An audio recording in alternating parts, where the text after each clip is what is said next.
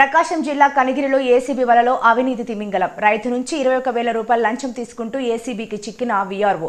రైతు నుంచి లంచం తీసుకుంటూ అవినీతి నిరోధక శాఖ అధికారులకు ఓ వీఆర్ఓ పట్టుబడిన ఘటన శుక్రవారం కనిగిరి పట్టణంలో చోటు చేసుకుంది. వివరాల్లోకి వెళ్తే వ్యవసాయ భూమి పాస్బుక్ కోసం ఓ రైతు నుంచి కనిగిరి మండలం ఏరువారిపల్లి వీఆర్ఓ వేణుగోపాల్ రెడ్డి ఇరవై ఒక వేల రూపాయల లంచం తీసుకుంటుండగా రెడ్ హ్యాండెడ్గా ఏసీబీ అధికారులు దాడి చేసి పట్టుకున్నారు.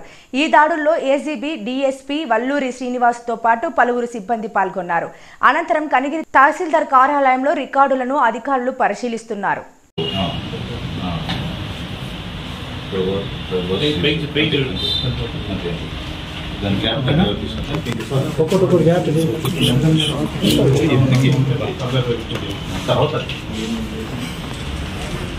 సరే